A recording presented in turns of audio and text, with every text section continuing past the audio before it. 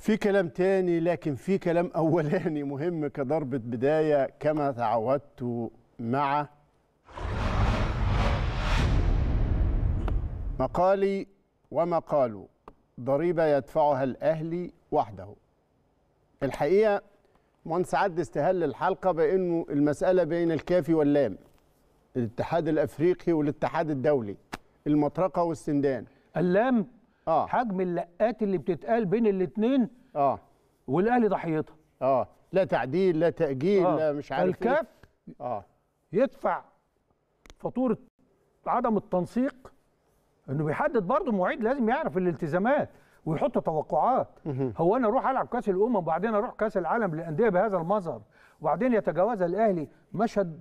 هل ده المشهد المنطقي اللي إحنا بنعول عليه إنه يتكرر ما الأهلي بيكسب؟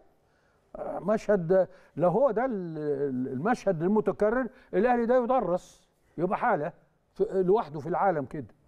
لكن إنه أنت تقرص على نفسك تتجاوز موقف مش معنى كده إن ده الطبيعي اللي تبقى حياتك ماشية عليه. ما يحدث الآن في ماتش الهلال والنادي الأهلي آه، ادينا تفاصيل عشان ما اتكلمش طيب.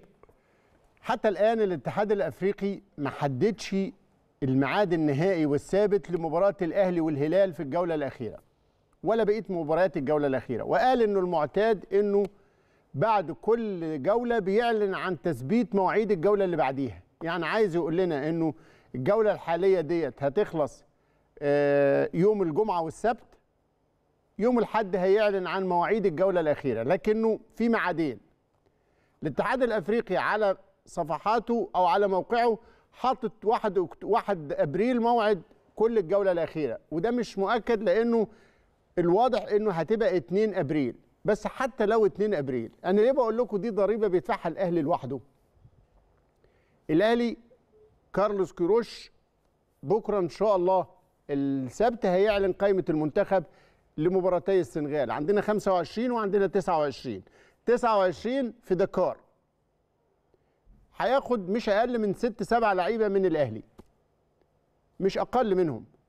طيب لو اللعيبة بتلعب في دكار يوم 29 هيرجعوا يوم 30 أنا عندي احتمالين. بإذن الله تعالى بإذن الله تعالى يرجعوا منتصرين ومتأهلين لكأس العالم. الفرقة في احتفالات المنتخب في تكريم في استقبالات هيقضي يوم 30 ويوم 31 في التكريم والاستقبالات.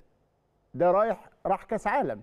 مش عايز أقول لا قدر الله نتيجة سلبية فحجم الإحباط محتاج معالجات كتيرة. ده ألعب. لك- لكن هي في الحالتين إنه في ضريبة ضخمة. طيب بإذن الله تعالى إحنا فرحانين ومبسوطين وسعداء. هتاخد العريس من قلب الفرح؟ هتشد الست سبع لعيبة بتوع النادي الأهلي. بلاش تحضروا التكريمات والحفلات وتعالوا أنتوا عشان البهوات في الكاف فارضين علينا لازم نلعب يوم اتنين؟ يعني بعد 24 ساعة. هل ده كلام؟ النادي الأهلي يا جماعة السنة اللي فاتت خسر الدوري بسبب الكلام الفارغ ده.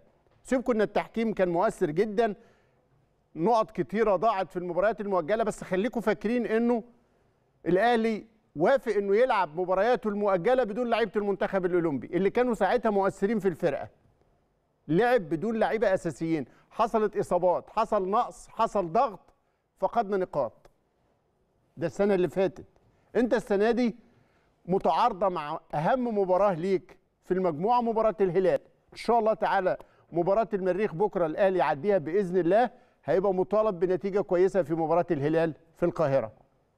إزاي 48 ساعة فقط ويتحمل الأهلي وزر هذا التعارض؟ زي ما حصل في كأس العالم للأندية. سافر الأهلي من دون تسع لعيبة في المنتخبات المختلفة في كأس الأمم الأفريقية. الفيفا يحدد بطولة والكاف يحدد بطولة والاثنين يعندوا قصاد بعض والأهلي لوحده يدفع الضريبة. وبعدين تسمع باشمهندس باستمرار حتى في المؤجلات. وأنا أنا هنا برضو رابطة الأندية وإدارة المسابقات فيها. لما يجي يأجل مباراة هو أنت بتأجل لي وأنا كنت في فسحة؟ يقول لك ما هو أنا أجلت لك أنت أجلت لي عشان كان لازم تأجل. لأنه في طبيعي تعارض للميعاد بين الارتباطات. الأهلي بيلعب مع الرجاء المغربي مباراة السوبر. تعارضت مع مباراة بيراميدز. أنت المفروض هتحط لي مباراة أي مباراة مؤجلة واحدة اتنين تلاتة حطها لي في المواعيد الطبيعية اللي بقية الأندية بتلعب فيها. وبلاش حكاية إن بقية الأندية يقول لك أصل الأهلي بيتاجل له الأهلي بيتاجل له عشان بيلعب بطولات رسمية مش مش بيتفسح. ففكره إن أنا أتعامل مع المباريات المؤجلة ضد الأهلي فقط فاحشرهم له في وقت أخليه في 10 أيام يلعب أربع مباريات زي ما حصل السنة اللي فاتت وضاع الدوري. الكلام ده المفروض ما يبقاش مقبول ابدا. عايز تأجل لي مباريات عشان أنا عندي التزامات رسمية حضرتك تحطها لي في المواعيد البينية. الطبيعية اللي بقية الفرق بتلعب يا بيها. أستاذ إبراهيم لازم وأنا وأنا بعمل كده أقوم أقول إيه؟ في حالة تأهل أو فرص النادي الأهلي للتأهل وفي حاله تاهل المنتخب ها يبقى الميعاد كذا. في حاله لا قدر الله ضياع فرص أي من الفريقين يبقى الميعاد كذا. يبقى أنا في الحالة دي الميعادين أنا اللي حاططهم من بدري. مش يتقال إن أنا بأجل للأهلي يبقى أنا تحسبت. خلي بالك كل ما يحدث على الساحة الأهلي ما يدفعش الفاتورة. أنت بتقول آه بيتحملها بشكل مباشر لكن مؤكد الكرة المصرية بتتحملها مم. مؤكد الكرة المصرية بتتحملها وما ينفعش يستمر هذا الوضع لأن الإرهاق سيأكل الأخضر واليابس بعد كده مش صحيح. هيبقى النادي الأهلي. صحيح. إذا ما فكرناش في حلول. ولذلك أرجع باللائمة تاني. أول السنة لما جت الرابطة وسألت الأندية ما كان ينبغي للرابطة أن تسأل الأندية. أنتوا تيجوا تعملوا موسم استثنائي لمواجهة الأزمات المتلاقه عشان نحلها في المواسم القادمة. أنت هتضطر السنة دي ترجع تفكر في الموسم الاستثنائي. طب ما هو كان من باب أولى.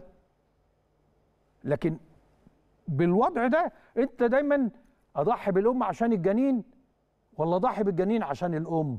فترجع تخسر الأم والجنين. أو بتاع بتاع عايز معجزة إنك تكسب الأم والجنين. آه. وده ودي معجزة. واخد بالك؟ آه، آه، وب- و- و- و- يعني سبحانه وتعالى قادر على كل شيء لكن هو ده مش آه، مش زمن مش المعجزات. ده المنطق. آه. مش منطق الأمور. منطق الأمور أعمل اللي عليا وأراعي مصلحة الكره المصرية.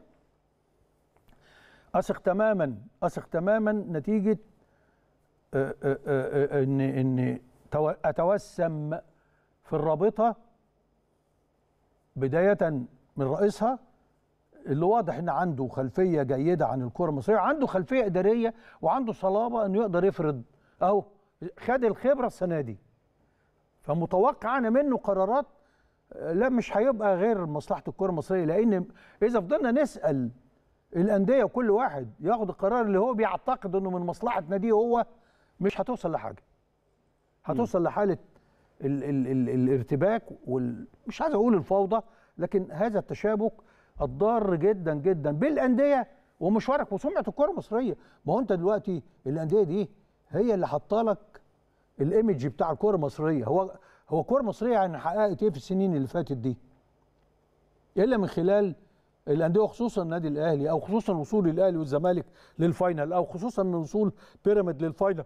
بتاع الكونفدرالية فابتدت الناس تتكلم تقول لا ده- كرة مصرية موجودة.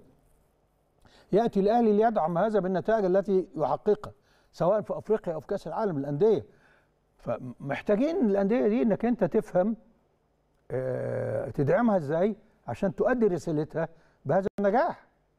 آه، غير كده الفاتورة هتدفع آه، لو فضلنا على السياسة التقليدية التي عفى عليها الزمن في السنين اللي فاتت دي.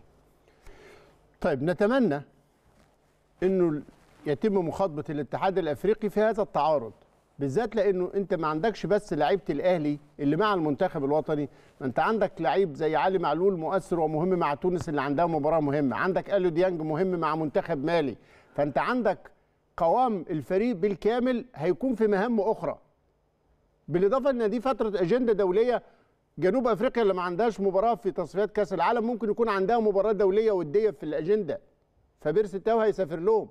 فإحنا بنتكلم على إنه يا جماعة في فريق كل قوامه من المحترفين سواء في الداخل أو في بقية المنتخبات هيكونوا على سفر وعلى لعب لغاية يوم 29 النتائج بتاعتهم كل واحد وحالته.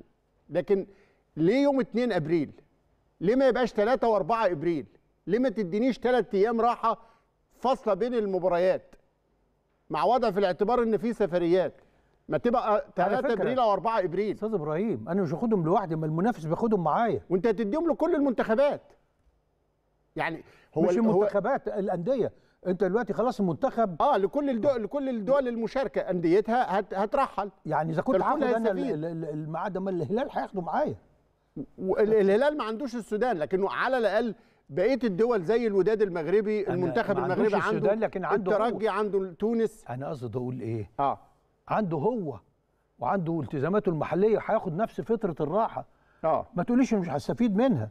لكن العناد اللي أصبح بيتصدر من الواقع المحلي التي يتم تزييف الحقائق فيه ها ومحاوله تغيير الواقع إلى ال- النطاق الإفريقي دلوقتي. تسمع كلام لا ينبغي إنك تسمعه. ده كلام أتمنى إنه يكون واضح وأتمنى إنه يبقى فيه إصغاء لصوت العقل في إن أنت الاتحاد الأفريقي اللي عمل كارثة لما صمم ان بطولة الأمم الأفريقية تتعارض مع كأس العالم على إنه يحلها مع الفيفا. لا ده حل ولا ده حل والأهلي لوحده اللي دفع دفع الثمن وشفت إزاي سافر لبطولة كبيرة منقوص من كل فريق تقريبا هيقول لك أنت خدت المركز التالي.